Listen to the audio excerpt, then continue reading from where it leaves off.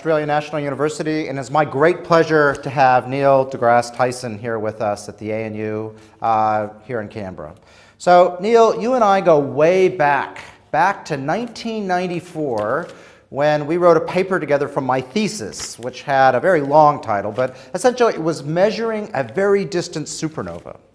Now, from my memory, you used to spend a lot of time down at Cerro Tololo, where I spent a lot of time, and used to often take. in Chile. The, yeah, the down Andes in Chile. Mountains of Chile, yeah. Yeah, so you would take images uh, for the supernova team down there, and this paper, uh, I remember you being very fussy, which, which is a compliment to a scientist.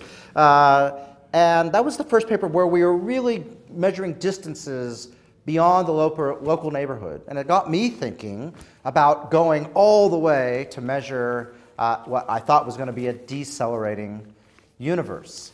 So one of the interesting things that when we talk about science is we always refer to it uh, in not technical terms, but everything we think about in science is underpinned by measurement, by precision.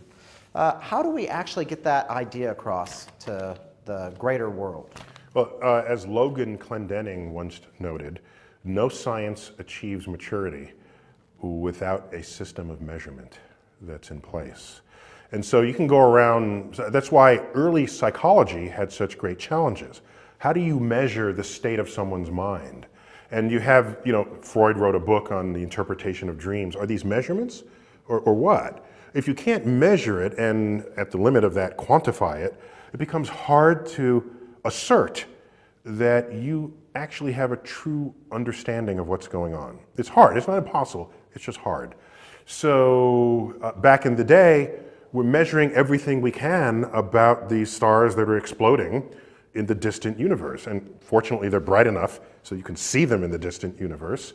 And I was fun to be a minor author. I, you call me co-author. No, I was a minor participant in your project, happy to supply data to help you make the, the light curves, of course, of the supernova.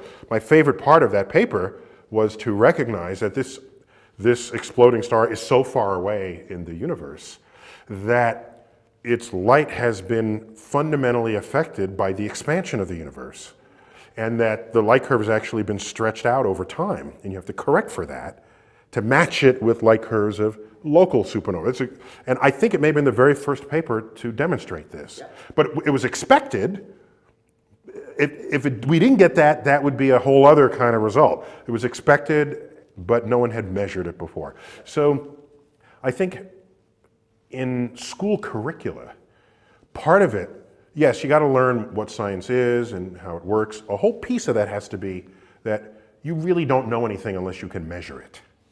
So, you know, one of the things that I reflect on is that you say you were a minor player, but science is built up by lots of minor players, and people win Nobel Prizes when they happen to be the, I think, the last minor player. We, you know, the, the things that underpin the accelerating universe go from all those measurements you made in your thesis, uh, and I was talking to Nick Suntzeff, who uh, reflected on when you were taking all those data, and you know, that was the data you took underpinned this great experiment. Do you find that young people or old people around the world really get the idea how they can make a difference? I think the people who understand science and want to become scientists, not so much because they read the highlights of discoveries, that can seduce some people into being scientists, but those who ultimately become scientists have learned along the way that at some point you have to love the questions themselves because the answers are not coming to you daily or weekly or monthly or even annually. They may come only once in your lifetime. And along the way is the journey of exploration. And so, yes, I'm taking data as for, for a couple of stars as part of a larger project that's being assembled where there's a bigger question getting asked. And if you do not love the active data taking, the daily grind of it possibly not working, and then you have to fix it, or getting, or, or, or having corrupted data. I was on the mountain one time getting data, getting spectra of a star, and there's an earthquake. And, and, the, and the, the spectrograph shifted, but we didn't know this. Okay, we asked, they, the, we went to emergency power, we started taking data and none of the data made sense. And you go one bit by bit and then you find out, oh my gosh, the, spectra went, the, the spectrograph went out of alignment. But suppose we didn't realize that. Suppose it went out of, suppose it was an earthquake during the day and we're not there at the telescope, and we try to interpret fundamentally flawed data. That's a problem. Yep. These are part of the challenges of being a scientist, and you have to learn that that's part of why you love doing what you're doing.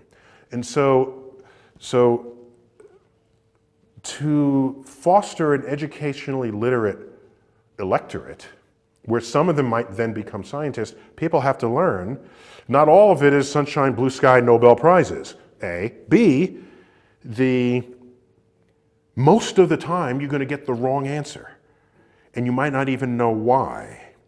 And C, the act of failing is the indication that you're on the frontier. Yep. The day you make no mistakes is the day you have taken the low risk path to nowhere. So, uh, oh, oh, by the way, okay. not to not to beat this to death. But if you have a government that has policies that does not understand the role or value of a failed experiment, yep. then it will never be on the frontier of anything. And entrepreneurs know this. They invest their savings, their, uh, the money from investments that they, from venture capitalists, and even venture capitalists know it could fail. And if it fails, it does not, doesn't mean you're a bad person. It, does, it just meant you had creative ideas that you were testing. And the, the, these are the engines of growth economies, if you want to take it to that extreme. Okay, so actually thinking about that, here at ANU, we've invested in a big technical center that is allowing us to test and do things like CubeSats. Uh, so you're involved through the Planetary Society uh, through a, spe a, specific kind of interesting CubeSat experiment, which ran uh, last year, and it, let's see, light sail. Light sail. Uh, so an interesting idea. So we actually were one of the ground links for that, although in a minor way. We're hoping to be a much bigger, uh, I guess, partner next year. Why, why light sails? So that's an entrepreneurial thing. what are you trying to do in something that could easily fail? Yeah, just uh, so just as a reminder to people who, if you didn't know, uh, CubeSat is think of that. It is a thing, but think of it more broadly as as accessible access to space, to Earth orbit, and the spacecraft for, can you can build it on a laboratory bench and you can ask questions of the space environment, design experiments, attach it to this volume that has a prescribed mass and capacity to resist temperature and shaking. And then you can have students for senior projects or, or, or, or, or master's or PhD projects have access to space. It's brilliant. And so it's democratized space exploration uh, scientifically or even from the business perspective. So the Planetary Society, founded 20, 35 years ago, uh, co-founded by Carl Sagan and two colleagues of his, I now serve on the board. I was very honored to be asked to join the board within a year of Carl Sagan having died. And so I, this was like, is the pressure on or what? to fill some shoes there, I don't know. But um, the Planetary Society was the lead uh, partner in an experiment to see if you can accelerate uh, a, a spacecraft just with the pressure of sunlight. It's called light sailing, and it's a literal analogy to sailing. If you're going to sail towards a source of light, you're going to have to tack into it the way a sailor tacks into wind. And it's a, an exploration of a, a cheap and effective means of accelerating in space. It's propulsion, essentially. And so while it's a test case, um, it, it, had certain milestones that it succeeded at, and we hope maybe it'll open up a new, a new pathways for people to, to get around the solar system and beyond. Well, it's one of those things that we hope to be able to uh, join you in, I guess, uh, next year. Uh, And you might even have some power to make that happen. Well, we're Mr. yes, Vice as Chancellor. uh, becoming the head of the university next year, we'll have a lot of power. so one of the things we do here at ANU is we do massively online open courses uh, through edX. I've and Pope Francis have done 36 lectures on everything. Excuse me, I and Pope Francis. there you go. One of the things that we're doing right now is Charlie Lineweaver is doing one on Are We Alone? And so, are we alone? Yeah, so generally when people say to themselves they're alone, they're not considering that there might be microbes living on their skin or in their digestive tract. Because if you want to include them, then you're definitely not alone.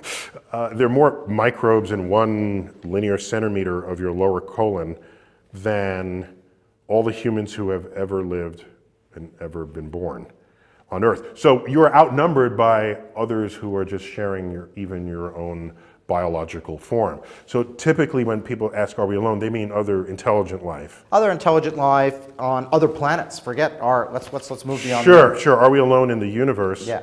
Uh, and it presumes that we understand intelligence enough to rank ourselves among others in that category that we might discover. And that's, for me, a debatable question. But let's take it as a given that we are intelligent and we're looking for other species with whom we can communicate. Uh, we've yet to find any, of course. You would have known about that by now. You would not have to come to this interview to learn if that were the case. But uh, no, we haven't found other life, and we're still not sure how we would. So we've got radio communication technology. The good thing about that, of course, is that it can penetrate obscuring gas and dust in space. In the same way radio waves make it into this building, it can move through walls. Radio waves have high penetrating ability, unlike visible light or other forms of light even. So, so we send out a signal using radio waves or we use radio telescopes as what will soon happen if it's not already here in Australia to to eavesdrop on signals that may be sent our way. But here's, here's an interesting challenge. We surely would have considered ancient Rome a civilization of intelligent people. But had aliens tried to send radio waves to them, no way to receive it, no way to send back, no way to even know what a radio wave is because the technology had not yet been invented. So our definition of are we alone has to include the fact that they are not only intelligent, but have technology that they can invoke to then send signals across the galaxy. Now, we've only been able to do that for maybe 70 years or so. Yep. So, and most of our original signals that have been sent from Earth were quite by accident. Leakage from early television shows, you know, I Love Lucy. Yeah, I was going to say, I love Lucy, boy. And the Honeymooners, and maybe some early Howdy Doody. You know, these are our the emissaries of our civilization as we go forward. The first wave of radio communication that would be received by aliens, intelligent aliens on an, in another planet. So watch out for that. Who knows what they're going to think if that's what they're decoding? Because you can't send a signal that we know of faster than the speed of light as radio waves would be sent. So here's my concern that maybe we, there was an attempt to communicate with us before we had radio waves. And they concluded that there's no sign of intelligent life on Earth. Suppose, not only that, uh, they figured out a cleverer way to communicate than radio waves and radio telescopes, a way that we have yet to invent because we've only been at it for 70 years. They would still come back with no signal from us. So uh, it's, very, it's hubristic to even think that what we invent out of the human mind would be the way they would attempt to communicate with us. So we're not sure if we're alone, and it's going to be damn hard to figure it out. So I would say we're probably not alone. Yep. And it's going to be damn hard to figure it out. And I say we're probably not alone because just of how long the universe has been around, how many stars there are in the galaxy, and how many galaxies there are in the universe, and how how, how common the ingredients of life are in the universe. We're not made of rare stuff. You know, if we were made of like a, an isotope of bismuth, then you could argue that this is a rare thing we got going here on Earth, and it's precious, let's not take it for granted. But we're made of carbon and nitrogen and oxygen and hydrogen. This is like the most common ingredients in the universe, and they're highly chemically active ingredients to boot.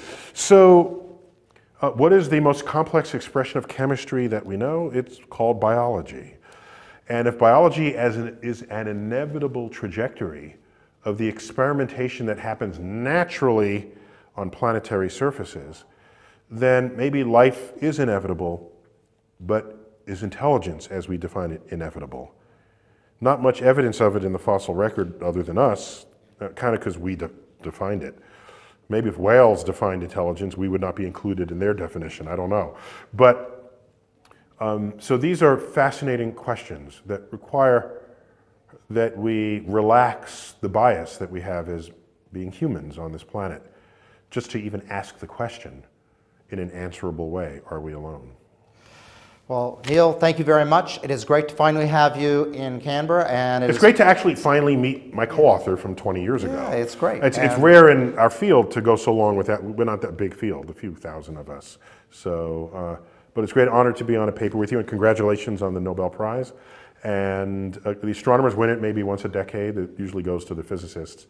So uh, it means every now and then people do recognize that we do something uh, good in the universe. We hope you enjoyed this video and for more lessons and videos go to freqphysics.com.